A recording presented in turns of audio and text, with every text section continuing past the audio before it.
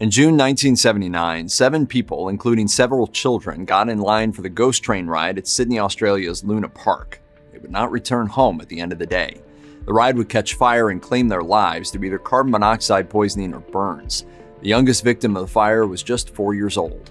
In the wake of the tragedy, heartbroken locals looked for a cause of the fire, a mystery that has yet to be solved over four decades later.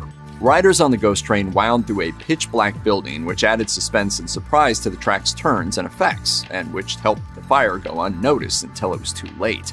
Survivors indicated that they smelled smoke a few minutes before the fire spread, but figured it was part of the horror themed ride's special effects. Investigators have revealed a long list of instances of incompetence and corruption on the part of the Luna Park management and the local police.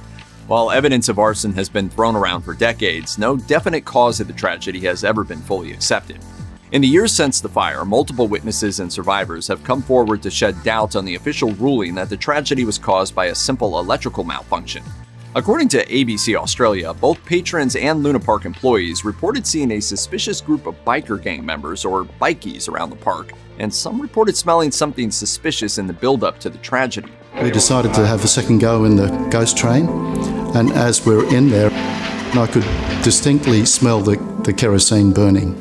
The police chief called off any search for suspects and doubled down that the fire was caused by an electrical failure.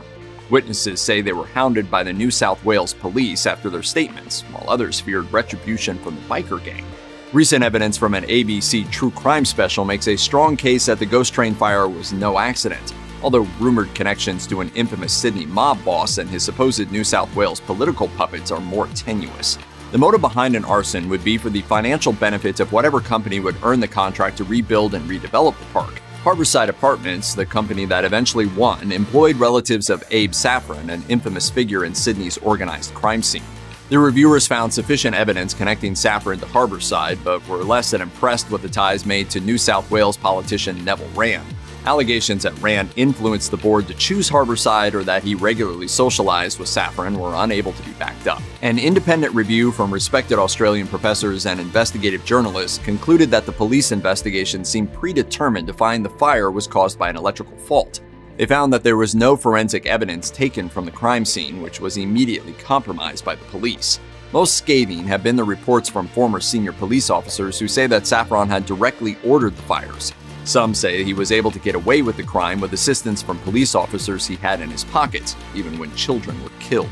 Reports go on to allege that Detective Doug Knight, who led the investigation and was adamant that mechanical failure was behind the inferno, was actually a fixer for Saffron, manipulating evidence and witnesses to achieve the desired outcome. The second tragedy for me was the failed investigation.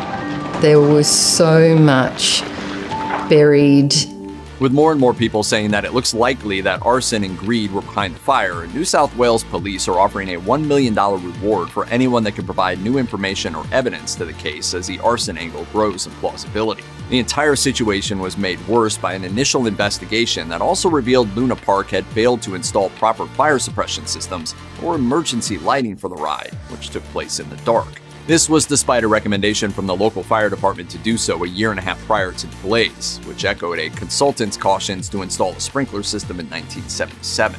Ultimately, years of incompetence and penny pinching led to the fire, and the inadequate response of the police in its aftermath means the true cause of this tragedy might never be revealed, although plenty of theories still exist and evolve to this day. Check out one of our newest videos right here. Plus, even more grunge videos about your favorite stuff are coming soon subscribe to our YouTube channel, and hit the bell so you don't miss a single one.